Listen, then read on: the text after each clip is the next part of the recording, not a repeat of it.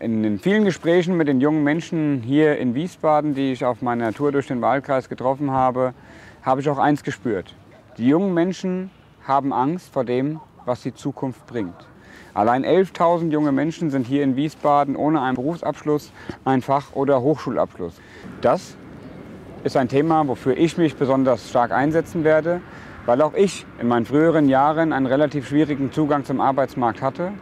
Und ich bin der Überzeugung, dass wenn wir jungen Menschen eine Perspektive geben, eine Aufgabe in unserer Gesellschaft geben und wir auch bereit sind, in diesen Menschen zu investieren, dann bekommen wir von diesen jungen Menschen auch etwas in die Gesellschaft zurück. Und aus diesem Grund ist es ein Ziel der Sozialdemokratie, über 20 Milliarden zusätzlich in die Bildung zu investieren. Junge Menschen brauchen eine Perspektive. Junge Menschen brauchen eine Zukunft. Diese Perspektive und die Zukunft, die gibt es nur mit uns, mit der Sozialdemokratie. Und darum werbe ich um eure Erststimme.